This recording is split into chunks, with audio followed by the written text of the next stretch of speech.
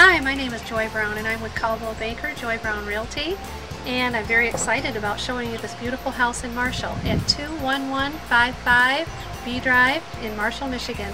Please follow me and look at the tour.